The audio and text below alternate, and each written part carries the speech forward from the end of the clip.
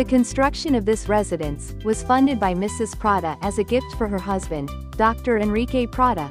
The first mayor of Port of Spain it was the home of the Prada family for 19 years. The house was built in 1904 by George Brown of the Trinidad Trading Company under the guidance of Dr. Prada, who had a particular interest in the design and construction of building. Dr. Prada was a scholar, a medical doctor, and a public servant. Born in Venezuela in 1867, he came to Trinidad at an early age, where he lived until he died in 1944. The name Mille Fleurs is original and given by Mrs. Prada herself as she loved flowers and kept a beautiful garden.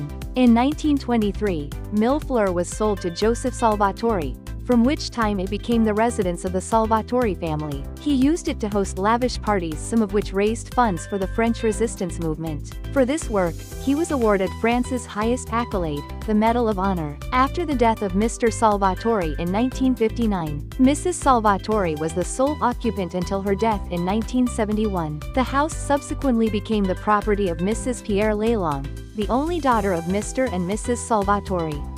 Mrs. Lalonde lived in Paris, and in 1973 she sold the Mille Fleurs to George Matouk.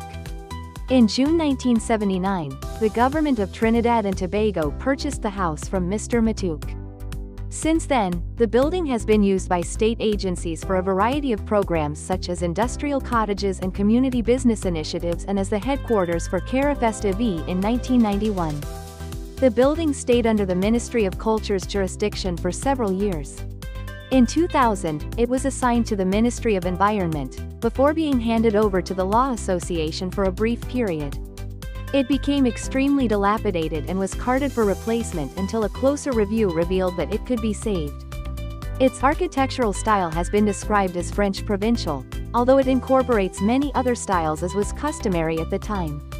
Although Mille Fleurs is less of a showpiece than some of its neighbors, the quality of finish and detailing is perhaps of a far higher quality. The intricately carved balusters, the marble treads, and risers into the building, the beautifully hand-carved internal staircase. The elaborate and yet subtle cast iron columns and brackets were all carefully restored and refurbished by Cuban and local craftsmen. Portions of the original fountain were refurbished and incorporated into the new fountain using pictures of the old fountain as a guide. The restoration of Heritage House was completed in 2020 and was handed over to the National Trust. In 2021, a decision was made to refurbish the former mews to become the headquarters of the National Trust and this is ongoing.